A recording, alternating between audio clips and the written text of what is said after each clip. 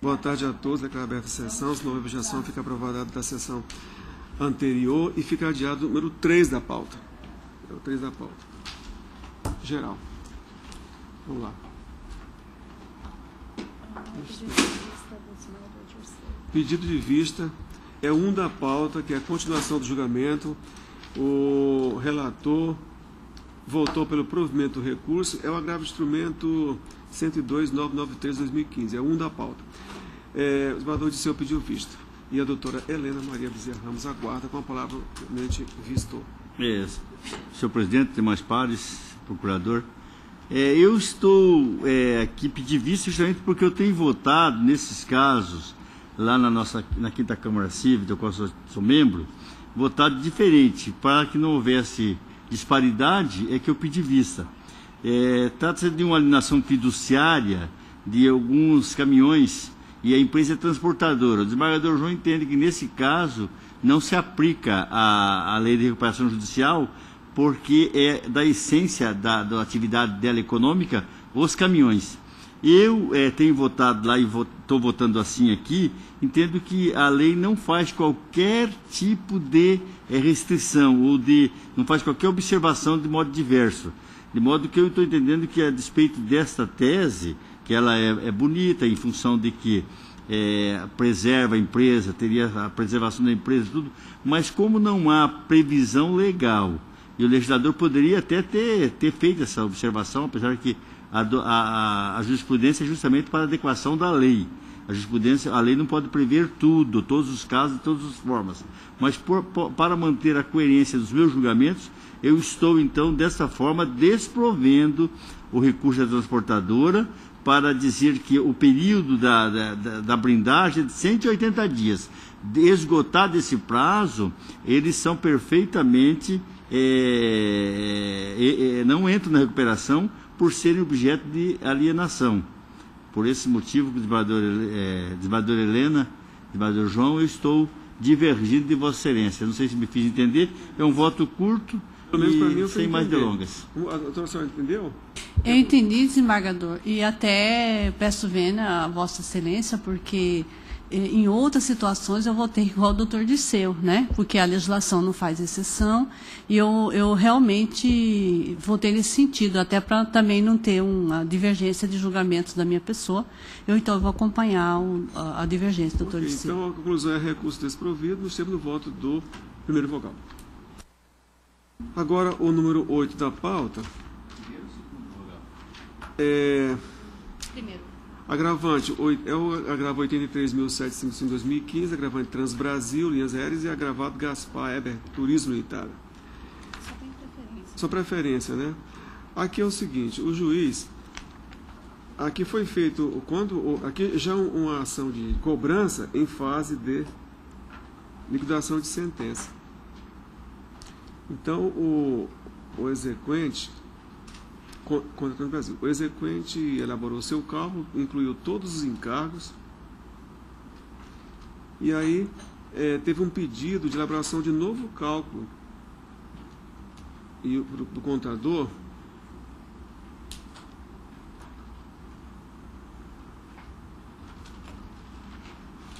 Sim, aí o juiz indeferiu o pedido de elaboração de novo cálculo do valor por entender, aspas, que já foram incluídas todas as verbas nos termos do julgado e não há determinação para aplicação da multa de 10%. No caso, não caberia a multa do 10.475J. Por isso, homologou o cálculo e determinou a execução. Aí a exequente disse que o cálculo homologado está em desacordo com o que consta dos autos, pois deixou de computar verbas como honorários, custos e pessoais, sendo causando prejuízo. Essa que é, a, é que é o tema desse recurso. E eu digo que é o seguinte, é, o agravante ajuizou contra a agravada ação de cobrança em razão do, cumpri- do descumprimento do, do contrato para a venda de passagem por agência de turismo.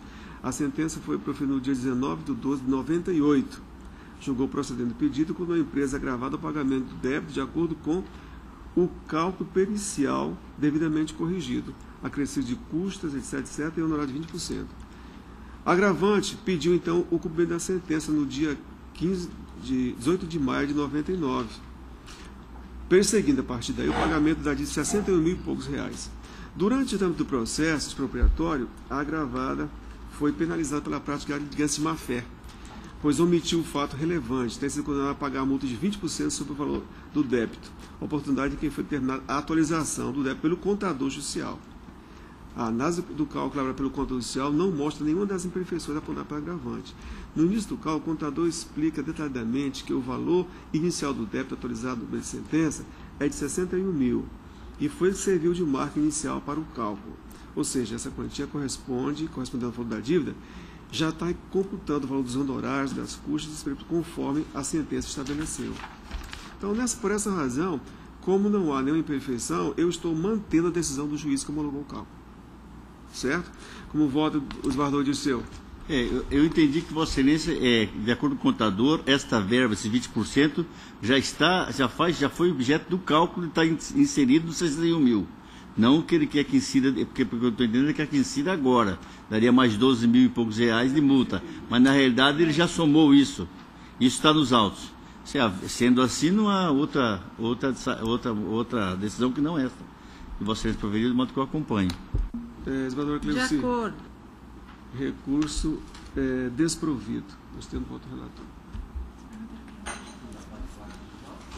Desembargadora Cleuci, notícia isso aqui já está dispensado. Inverter a multa, porque recurso pode deixar também uma fé nova fé de casa Bom, o 5 da pauta, com participação ministerial, cujo parecer pelo acolhimento da extinção, é, pelo, desculpa, pelo acolhimento da exceção de incompetência, Ratifico o parecer escrito. Está ratificado. É, essa de competência, nulidade na ocorrência, aprovação ou decisão juntada de documentos a respeito dos quais a parte contrária não se manifestou, irrelevância, documentos desnecessários ou impertinentes, sem contributório, matéria exclusiva ou preponderantemente jurídica, inexistência de prejuízo, ação declaratória póstuma de filiação socioafetiva Regra geral, domicílio dos réus. Inexistência de exceção aplicável. Inventário, ausência de força atrativa determinante.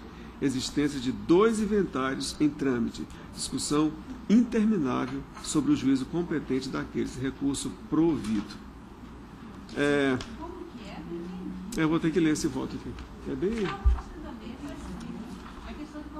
É questão de competência. É porque o nos autos da exceção de competência, julgou improcedente o pedido, rejeitou por quê? Cuidando o mérito da ação, aqui é uma ação declaratória posta de filiação socioafetiva, certo?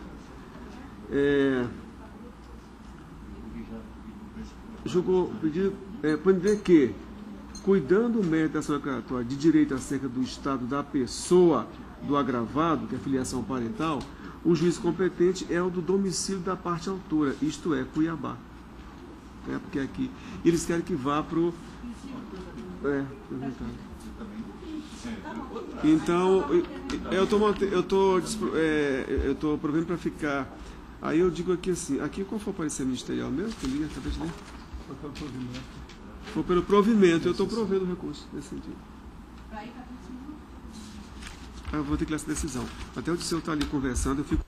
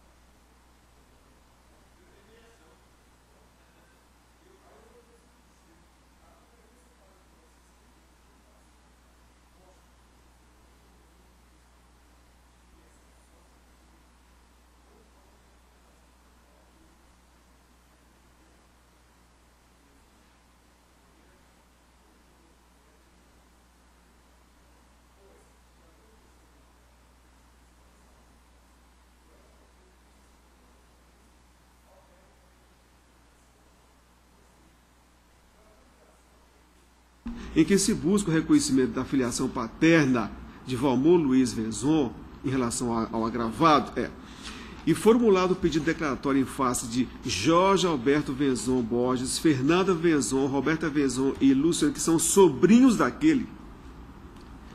O primeiro desses sobrinhos, domiciliado em Porto Alegre, e os demais, até então em paradeiros desconhecidos, a competência inicialmente delineada pelo CPC, em benefício dos réus, repito, é o da comarca da capital gaúcha, dada a natureza pessoal e não real por exclusão do Pleito. Não é por acaso, aliás, que o STJ consolidou o entendimento de que, aspas, o foro domicílio da residência do alimentado é, a, é o competente para a ação de inventário, de invenção de paternidade quando acumulada com a de alimentos. Isso porque, a despeito da nova genérica, incidiria a hipótese versada a regra especial do 101.2 CPC. É competente o, foro do domicílio ou da residência do alimentando para a ação em que se pede alimentos. A contrário do senso, e não existindo razão jurídica para tanto, a competência é, em que se busca o reconhecimento de paternidade é do juiz do domicílio do réu, salvo quando este não se opõe é, à proposição em outra comarca. De outro lado, não há falar em qualquer força atrativa por parte do inventário, do juiz inventário, seja porque a ação em questão não foi proposta contra o espólio, com cunho eminentemente patrimonial, 97 do CPC. Seja ainda porque, mesmo que assim não fosse, o debate meritório, existência ou não de filiação socioafetiva, demanda autoindagação, dependendo de ampla produção de provas em juízo.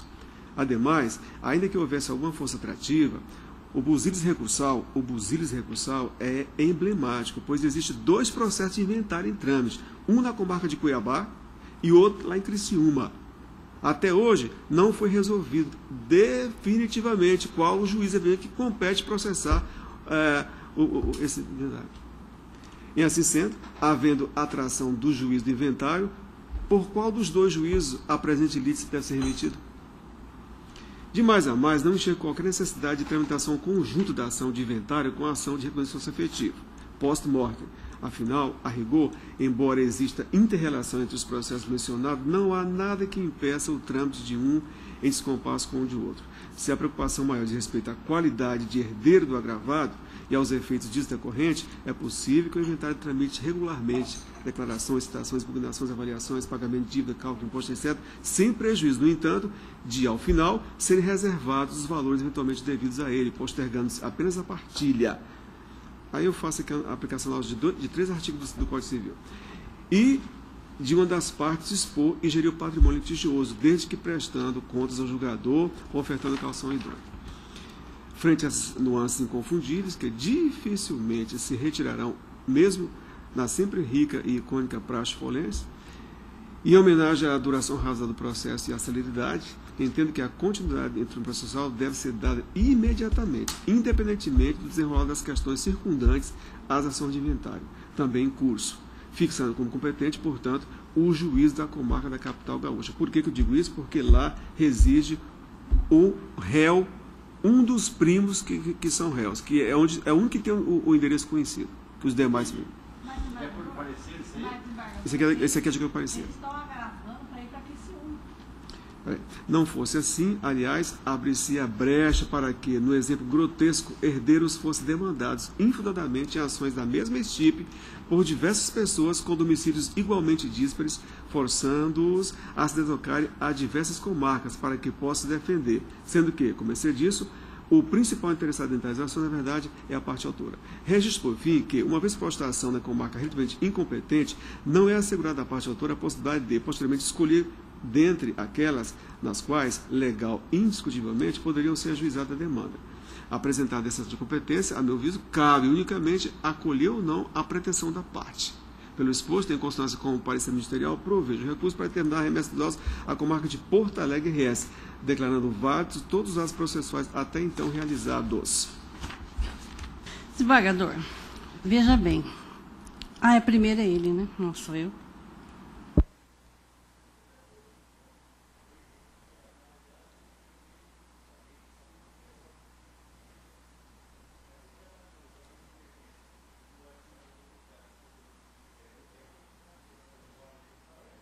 Eles, estão pedindo para ir para a comarca de Porto Alegre. Sustento que compete ao juiz da comarca de Porto Alegre, onde eles residem, o procedimento da geração. Está aqui. Então está errado aqui o, o termo, está errado aqui?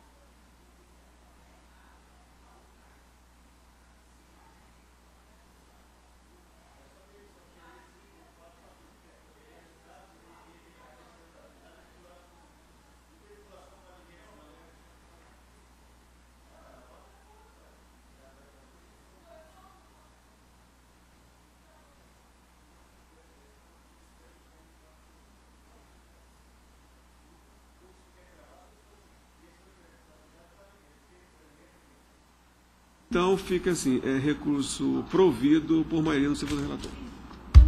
É, pode ser que é bom. Eu conheço bastante situação, né? E a parte fraca também, e outro também lá, não sei. Bom, continuando aqui, o recurso o 11 da pauta é o agravamento 96.461-2015, Rondonópolis, agravante Liberty Paulista Seguros e Leonardo Randazo Neto agravado. Eu vou tentar fazer aqui uma letra pela emenda, se não tiver condições eu vou eu leio o voto. Aqui é cumprimento de sentença, pretensão de recebimento de honorário advocatício fixada em razão de procedência da lei secundária, secundária, chama-se entre a empresa de transporte de pessoas e a seguradora em razão em ação indenizatória em, em razão de falecimento de ente familiar em acidente de trânsito, transporte. Ponderação da seguradora a indenização solidária até o limite da pólice, fixação de honorário advocatício em 10% desse limite. Posterior acolhimento de embases declaratórios para esclarecer que o limite da apólice será apurado em liquidação de sentença em razão da existência de várias vítimas do sinistro. Impossibilidade de cumprimento de sentença antes da sua efetiva liquidação. Impugnação acolhida, decisão reformada, recurso provido. Aí eu tenho que ler isso aqui, porque aqui, aqui é o seguinte. Aqui é uma hipótese, parece os honorários, os honorários vai, vão superar, inclusive, o valor da, da dívida. Quer que eu faça a leitura do voto? Não, Beleza, quer fazer a leitura? Não? Então, nesse caso, o recurso é provido. É, tem que liquidar porque tem várias vítimas que você vai pagar, né? Que é o- é valor do prêmio e qual é a a perten- pertence a cada um.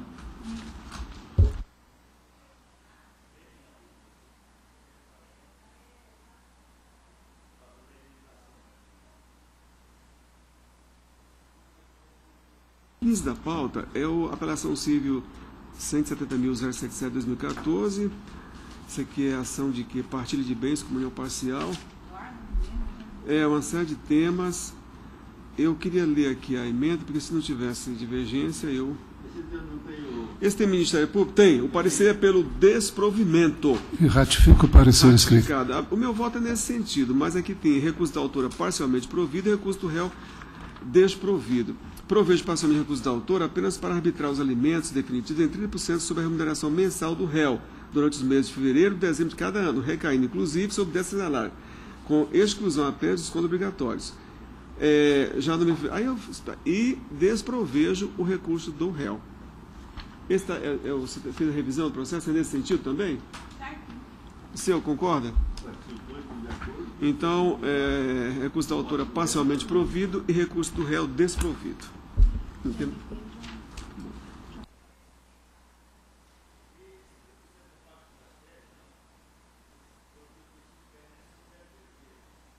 eu ver aqui, ó. É, e do desconto sobre adicional de férias.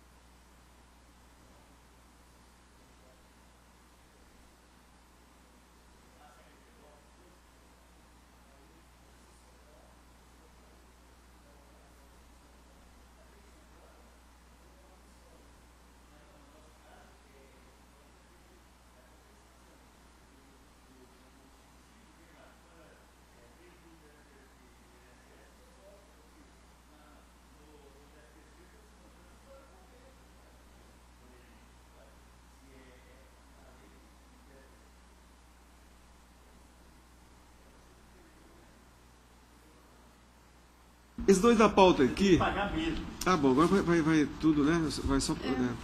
Aqui é, são os recursos com as conclusões, o da- o 2 provido. É, só isso. O 2 da pauta é agravo de instrumento. Aqui foi feito um depósito para a garantia do juiz, mas o juiz recebeu como pagamento. Então, eu estou provendo para estabelecer a vontade da parte, que seja que fique lá depositado como garantia. Então, desse provido. O tre... Provido. O 13 da pauta é. Tem que pegar os votos, né? Porque ele quer saber. Isso aqui é declaração de, de, de instrumento público, somente que a assinatura é falsa. Sentença procedente. Deixa eu ver eu tenho. O 13 da pauta é agravo de instrumento? É. Ação anulatória, declaração de unidade de todos os dados processuais a partir da falta de nomeação do curador. Aqui foi o seguinte: esse processo aqui é complicado. Né? Esse processo tá, está lá de Diamantino, né? Arenápolis, a região lá está tá há muitos e muitos anos. O tribunal deu provimento com recurso aqui, anulou esse processo depois de muitos anos de habitação e por causa de, um, de falta de, de nomeação de um curador especial para o revel. Certo? Anulou tudo. Aí, aí fica. Esse aqui já é o segundo agravo que vem. Os juízes, diante dessa situação, ficam tentando aproveitar os. O acordo foi claro. Anulou desde a falta de nomeação. E, e com, olha, com perícia já feita depois, com tudo, foi uma judiação esse negócio aqui. Eu estou fazendo a mesma coisa. tô- a juíza chegou lá, uma nova juíza, viu aquilo, aproveitou um ato depois da nomeação e a parte veio em cima. E ela tem razão. participou? Participou, agravou. Então eu estou dando, é, provendo recurso para também ordenar o prosseguimento do feito a partir do marco processual que aquele acordo lá estabeleceu. Mas é, uma- é uma coisa terrível isso aqui. viu?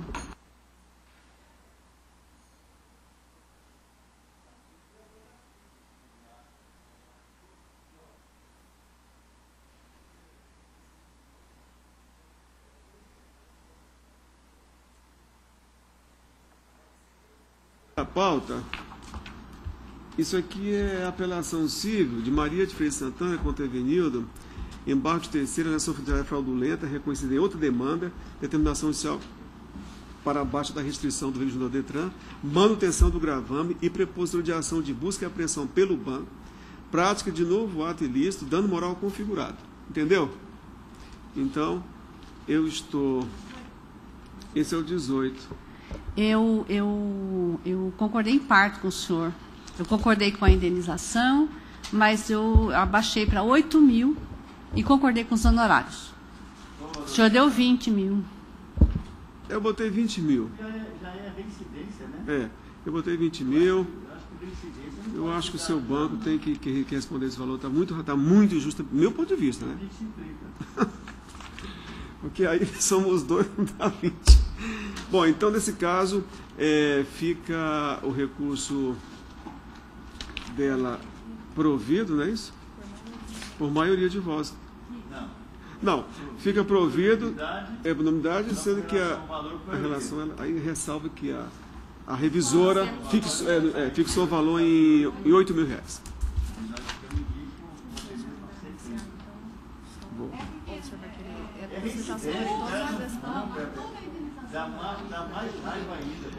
É. Helena, tem algum- algum voto que você fez, eh, foi revisão e tudo divergiu? E a pessoa continua. Eu tenho um caso assim, a- a- eu ganhei uma.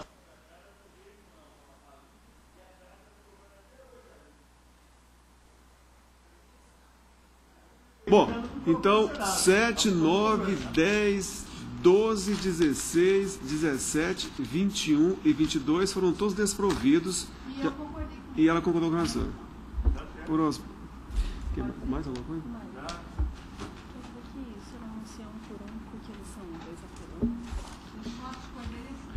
O 4 da pauta, você discordou? Ou Você, você fez a revisão do processo? O 4 da pauta é questão o voto ela? É bancário, passa a volta para ela. É bancário. Repetição de débito, etc, etc por notícia. Eu estou desprovendo o recurso do banco e provendo parcialmente o do devedor.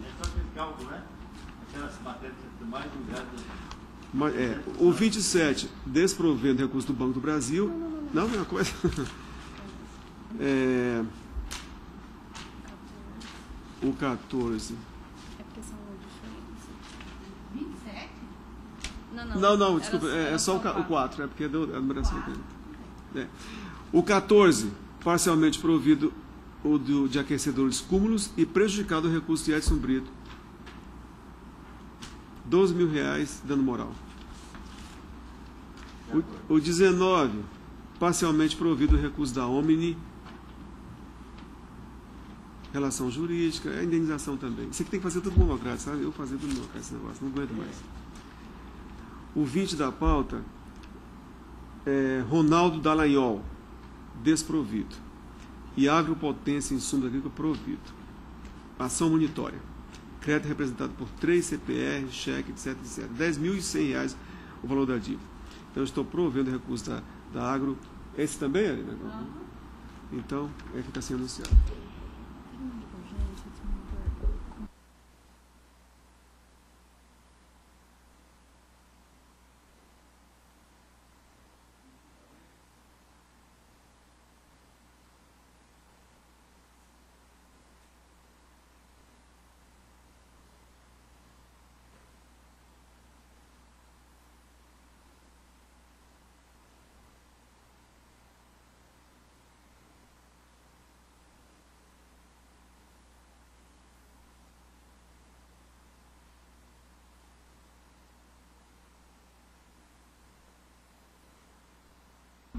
O, o, o 6 da pauta desprovido. Helena, vê se você dá, você dá pauta. Ah, é grave instrumento.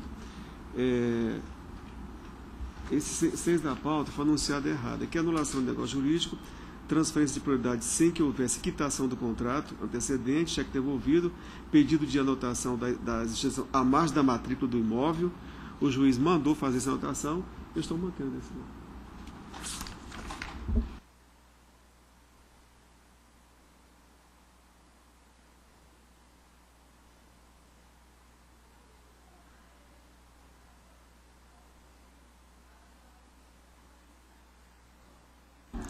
Nada mais havendo, declaro encerrada a apresentação, agradecendo a presença de todos, a colaboração de todos.